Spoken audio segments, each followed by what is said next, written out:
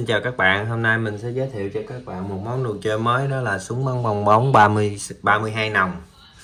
Cái súng này nó rất là to nha các bạn, nó có 32 cái nòng như thế này. Khi mà mình muốn chơi thì mình sẽ đổ xà phòng vào trong cái cái nắp nó cho sẵn như thế này. Cái chai xà phòng cho sẵn đây. Mình sẽ chế vào ở này, bắt đầu mình nhúng nó vào đây. Và ở phía sau bên đây thì nó có chỗ để lắp pin nha các bạn đây đây cái này thì mình đã gắn pin sẵn rồi. Cái này sẽ chơi ba cục pin. Đó. rồi, như thế này là xong rồi. Khi nào mình mình sẽ nhúng vào đây. Rồi, các bạn hãy xem nha. Mình sẽ bắn nha khủng khiếp chưa? Cái súng này rất là quy lực nha các bạn. Với những cái súng bắn bong bóng mình thông thường là không phải là đối thủ của nó nha thường thường mấy súng bắn bong bóng thông thường thì chỉ bắn được một luồng bong bóng thôi. Còn cái này nó có 32 nòng, nó sẽ thổi ra được 32 luồng bong bóng ra rất là nhiều.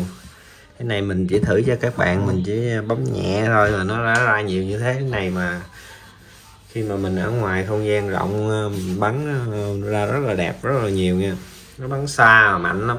Còn nếu như mà mình không xài á cái này là nó thổi cái, cái cái hơi cái quạt ờ, của nó thổi ra mát như là một cái quạt ừ, mini cầm tay luôn nha các bạn. Thì mình không có nhúng bong bóng này mình để vô mặt mình là nó thổi mát luôn á. Hiện tại mình ờ, shop mình về ờ, rất là nhiều mẫu như thế này có màu xanh và màu hồng. Giá rất là hạt rẻ nếu bạn nào thích quan tâm thì hãy comment phía dưới cho mình biết thông tin địa chỉ số điện thoại liên lạc mình sẽ ship tận nhà nha các bạn. Rồi mình sẽ thử một lần nữa cho các bạn xem nha. Khi mình chơi thì mình sẽ chế ờ, cái nước ờ, xà bồng vào trong cái ờ, cái vỉ nó cho như thế này. Mình nhúng đều hết như thế này ha. Đây. rồi mình chỉ việc hướng lên như thế này bóp cò. À, các bạn thấy khủng khiếp chưa? Chỉ nhẹ nhàng thôi mà nó như thế rồi đó.